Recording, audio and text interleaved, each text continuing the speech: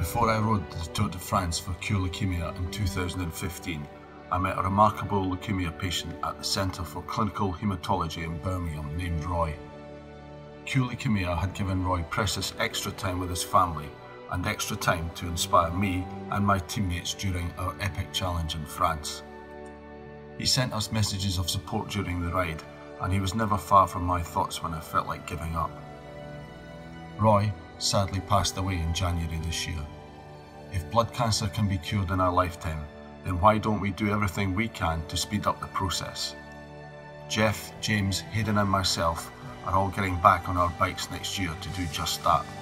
Why don't you join us?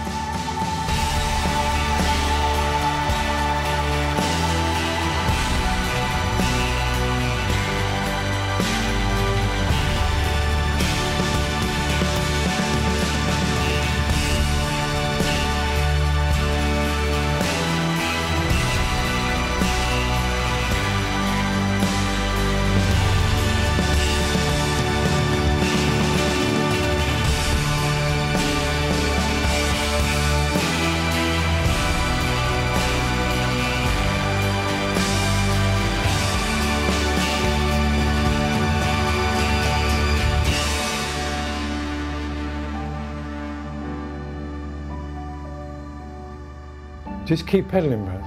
Keep pedaling all the time. You're um, remarkable people. Thank you very much indeed.